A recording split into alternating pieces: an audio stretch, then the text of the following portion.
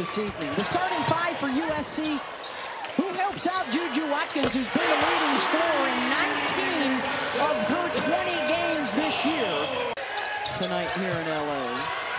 Shot clock's winding down. They get the touch inside and one for Kaitlyn Davis. At Virginia and Louisiana Tech, a rich history over the last four decades. Three ball on its way and good. Kayla Padilla, the grad student back home and She's had an impact.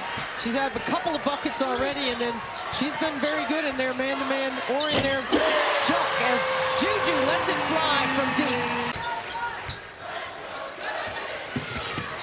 Watkins, nice drop off, and the lay-in is good for Akunwafo. Telling everybody to clear out of the right side. See, she doesn't like screens in this situation. She'll take it, steps through, Watkins and USC expected to be on that list. The kick out, second chance, got it.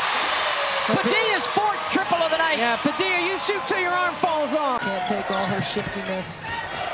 Look at that curl right there. So she forces a switch. That is a beautiful play right there by Juju Watkins. They like this Juju off this floppy action.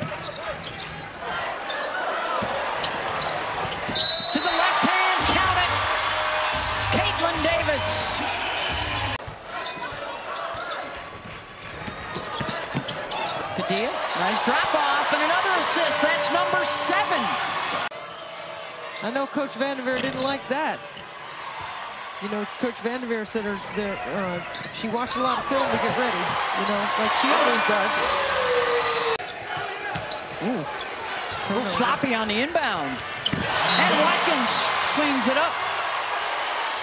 She turns it over and then she swats it out of bounds. They like this clear. Oh, they got a smaller player on her. Got to stay down. Juju takes her. Nice little fade.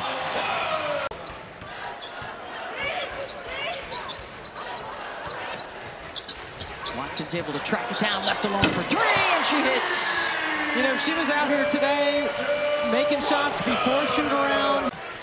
They've got the easiest schedule remaining of the contenders in the league with just one remaining ranked foe. That's Oregon State. And oh, what a move by Juju to put the capper on it.